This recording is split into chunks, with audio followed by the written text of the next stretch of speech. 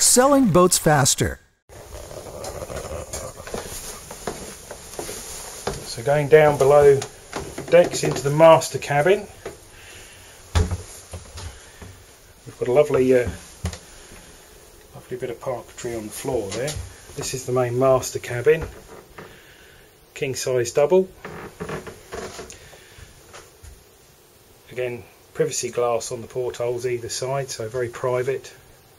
Lovely bright room with a dresser. Again, the the beautiful woodworks continued throughout and on the starboard side we've got a large shower room toilet and twin vanity sinks looking back across onto the port side TV with storage and AV all beautifully varnished the woodwork throughout here. Wardrobe and further storage with with bookcases. Again nice heating throughout. Surround sound in this particular room as well. We go back out into the hallway here. And into the VIP cabin.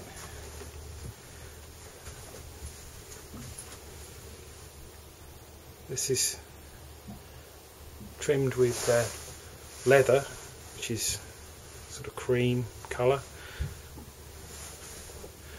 The curtains are, are drawn at the moment, but again, plenty of storage.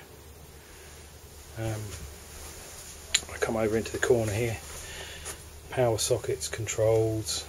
There's an intercom so you can call crew or the bridge, radio, DVD player, and uh, flat screen television. It's, it's actually quite breezy out today and it's lovely and quiet in here.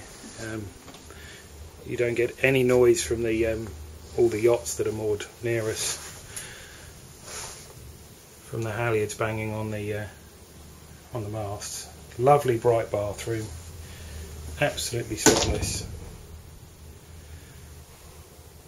You wouldn't believe that this was a a four-year-old vessel. Lots of daylight. And then we've got two two further cabins here. This is a double.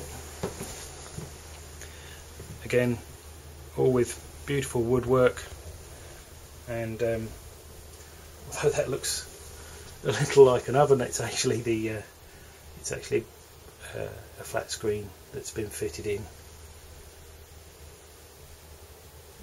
All carpeted throughout with this nice cream carpet.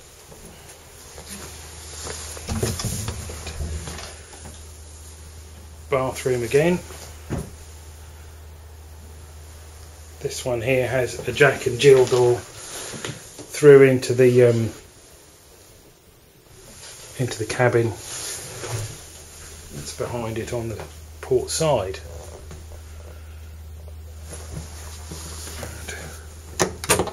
more storage again in here. You're definitely not short of storage in here, that's for sure. And uh, what we'll do now is have a little look at the